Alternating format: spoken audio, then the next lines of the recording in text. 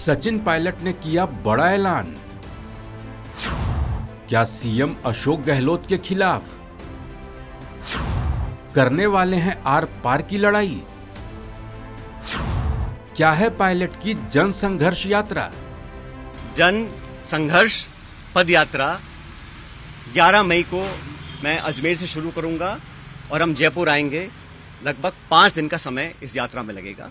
तो जैसे मैंने कहा, ये यात्रा किसी के विरोध में ना होकर, करप्शन के विरोध में है, नौजवानों के पक्ष में है, जो तमाम जनता में आज मुद्दे हैं, जो इशूज को लेकर हम राजनीति करते हैं, जिन इशू पर मैं हमेशा अपनी बात रखता आया हूँ, उनके बीच जाकर, उनकी बात सुनकर, उनकी आवाज़ बनने की हम लोग कोशिश करेंगे।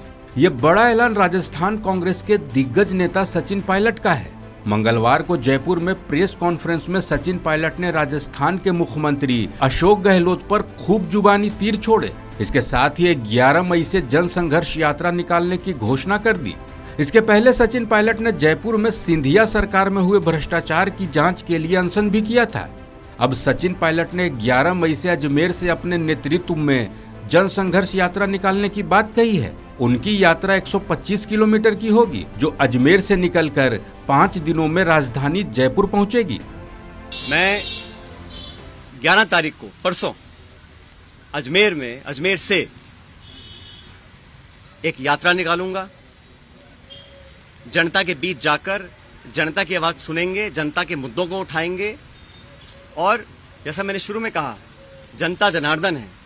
तो जनता के बीच जाना हम सबका दायित्व बनता है। और जो करप्शन के इश्यूज़ हैं, जो नौजवानों के इश्यूज़ हैं, जो पेपर लीक और पेपर कैंसिल के और नौजवानों के हितों से जुड़े मुद्दे हैं, उनको उठाकर मैं एक जन संघर्ष यात्रा निकालने जा रहा हूँ, जो 11 तारीख को शुरू होगी अजमेर से और जयपुर की तरफ़ हम लोग आएँगे। लगभग 125 किलोमीटर की यात्रा है।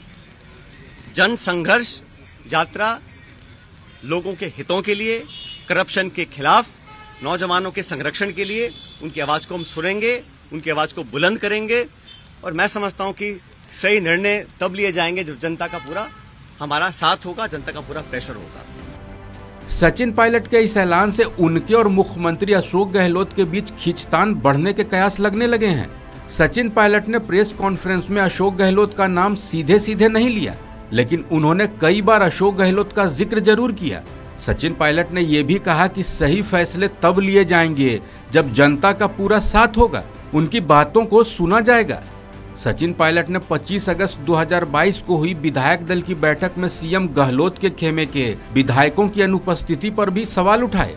सचिन पायलट ने विधायकों की गैर हाजिरी को अनुशासनहीनता करार दिया। इन सब के बीच सचिन पायलट ने ऐलान कर दिया है कि 11 मई को अजमेर से जन संघर्ष यात्रा की शुरुआत की जाएगी। इस खबर में फ़िलहाल इतना ही। अपडेट्स के लिए बने रहिए वन इंडिया, हिंदी के साथ।